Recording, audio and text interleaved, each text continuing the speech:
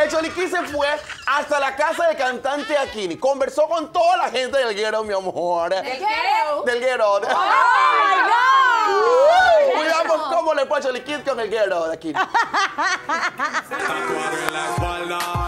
Y amigos de Suelta Luigi, hoy nos vinimos hasta la ciudad de Colón, porque vamos a conocer más del mismo a 15 Cincinnati Building que nos va a contar más de su historia, más allá de ese artista que ustedes ven. Hay una historia que contar, así que acompáñenos. Así es, señores. Las cámaras de Suelta Luigi se trasladaron hasta la costa atlántica, específicamente hasta calle 8 entre Central y Meléndez, área mejor conocida como la Kingston, gueto en donde creció el pollo del mes. Justo en este callejón creció aquí y nos habla sobre su infancia y lo más difícil que ha pasado. La verdad, eh, siempre me la pasaba corriendo ahí, hay un patio grande, acá también hay otro donde jugábamos fútbol siempre, cuando éramos menores, había un edificio aquí atrás que se llamaba La Torre, era bastante travesura, mole- molestábamos bastante a los viejitos también que vivían ahí.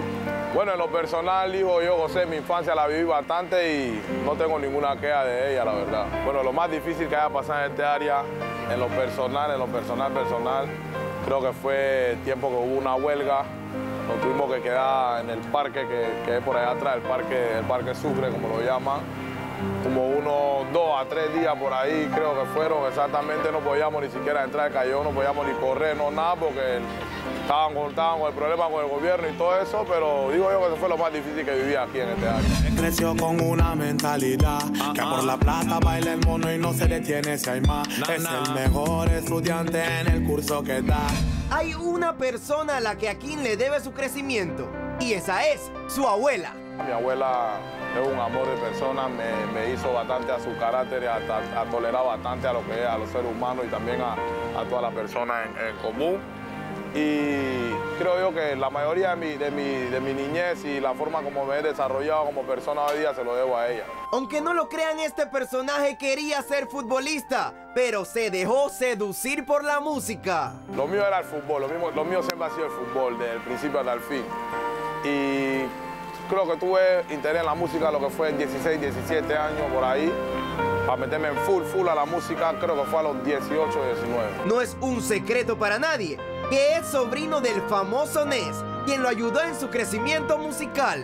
Sí, sí, sí, en el año 2007, en el año 2007 fue el primero que me, que me llevó a grabar, primero que me subió a una tarima también y puso formar parte de una familia con un legado musical grande como lo fue mi abuelo Alvin Bron, que para descanse también. Creo yo que eso me ha hecho, me ha hecho fuerte en lo que es la música, tratar de hacer, tratar de acordar los tonos y todo eso. Creo que eso forma parte también de ese legado musical. Tú no sabes del amor. No digas que sí, porque yo sé muy bien que no. Tú no sabes del amor. Como todo artista, al principio tuvo momentos difíciles. Bueno, lo más difícil en mi mundo musical, había una emisora aquí, en calle primera, que se llamaba Activa. Se llamaba Activa la emisora. Y yo llevando el CD. Por ahí mismo cuando iba a salir el CD venía volando por mi cabeza también. Por ahí mismo atrás, pero que venía saliendo el CD iba volando por mi cabeza. No voy a mencionar el nombre del DJ, pero ya está claro de quién yo estoy hablando, así que venía volando el CD por mi cabeza. Así que creo yo que eso ha sido lo más difícil en la música. Hasta trató de guindar los guantes y no seguir más con la música. Sí, sí, sí, sí, en muchas ocasiones traté de guindar los guantes porque no sentía cierto apoyo, de escuchar, ah, ese man no dice nada, él está tirado, que él no dice nada de la música, él no es nada comparado a lo que, fue el- lo, que- lo que fueron los tíos, que esto, que lo otro. Y creo yo que eso me hacía como, me bajaba bastante los ánimos, pero aquí estamos hoy en día, somos, aquí se dice, el pollo del mes, como por más de 3, 4 años. A caballo regalado no se le ven los dientes. ¿Ustedes se imaginan a Kim vendiendo plátanos en una esquina? Yo aquí mismo adelante casualmente vendíamos y que de repente y que alita con plátano y esas cuestiones. Buscaba, la buscaba, la buscaba, la verdad la buscaba como sea, pero nunca, nunca hice nada que me haya arrepentido hoy en día.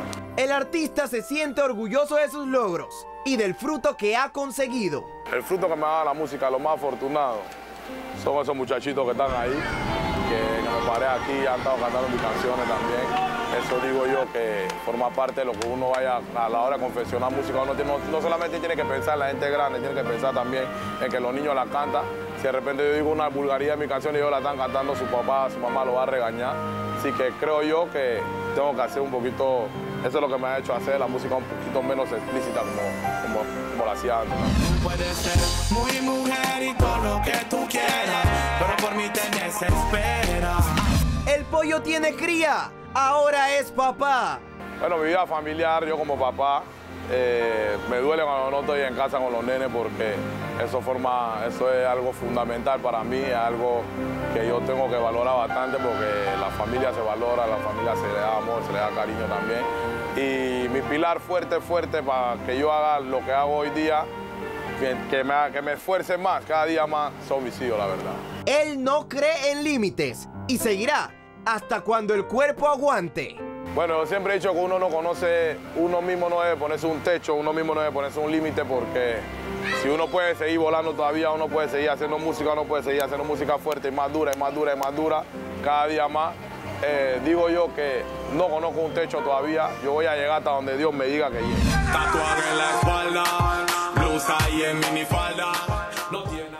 Me encanta ver a cantantes como aquí. Me encanta porque hay una canción que él tiene que se llama Desahogo, señores, que narra su historia de principio a fin. La primera vez que escuché esa canción se me erizaba. Ustedes saben que yo amo el danzal, amo eh, la canela, amo las canciones como las de aquí. sabe, y realmente me encanta verlo como quizás ni él pensó llegar a donde está hoy, señores. Y de verdad que te aplaudo de pie, lo máximo y que sigas cosechando. A mí me mucho da mucha risa, a mí me dio mucha risa ver los peleitos así. ¿Por qué? Me dio, mucha- me dio risa por dos cosas. Porque en verdad yo literalmente jugaba así. Ajá. O sea, y, y uno veía las cosas grandes, como decía él, y que había un patio grande. Y cuando uno crece, uno se da cuenta que era un patio así. chiquitín. Pero como uno está chiquito, lo ve como inmenso. Eso me da mucha risa. A mí me ha encantado esta entrevista porque estamos acostumbrados a ver al artista, que la bulla, que es chévere, y el artista no tiene derecho a sentirse mal, a salir amargado. Tú tienes salir de buen humor y tú estás ahí, te pagan para alegrar a la gente y para que la gente la pase bien. Entonces, cuando tú estás del otro lado y tú ves lo que a él le ha costado, me encanta haber escuchado que un día que agarró el CD y que le vuelve por encima de la cabeza. Y uno dirá "Ay, que qué mala Ingrid. No,